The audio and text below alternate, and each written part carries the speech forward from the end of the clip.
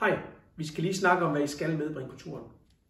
Det I skal medbringe, det er et printet coronapas og en øh, negativ PCR-test, som også er printet.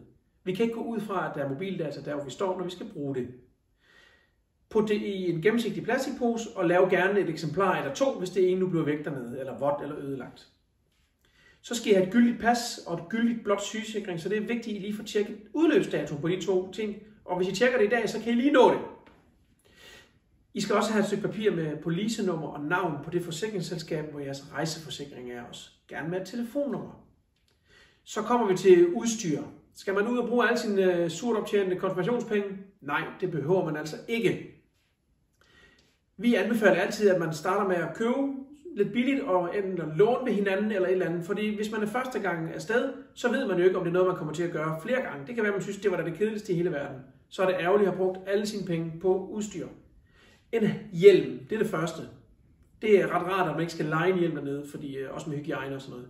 Så køb en eller lån en, og det skal være en skihjelm, det nytter ikke med cykelhjelme. I skal have nogle gode, varme, varme lange sokker med os, altså skisokker. Det er rigtig vigtigt. Så skal I have nogle skibriller med, altså nogle goggles, eller nogen, der kalder dem. Så skal I have nogle varme handsker. Når man er nybegynder, så falder man mange gange, så det er rart, at man ikke har kolde fingre.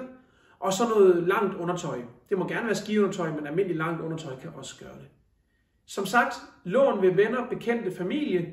Lad være med at bruge alle jeres penge, hvis I er første gang er sted.